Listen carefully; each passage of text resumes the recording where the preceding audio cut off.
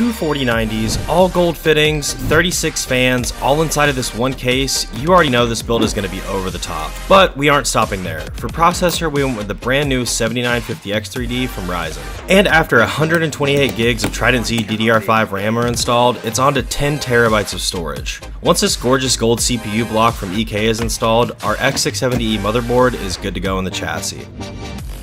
After we get the mainboard installed, let's check out these super convenient fan trays that come in the case, which will make installing four of these massive radiators, all maxed out in push-pull configuration, a breeze.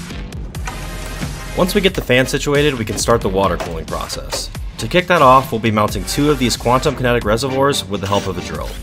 Next up is my favorite part, the gold fittings. These are what's going to tie the build's black and gold theme together perfectly.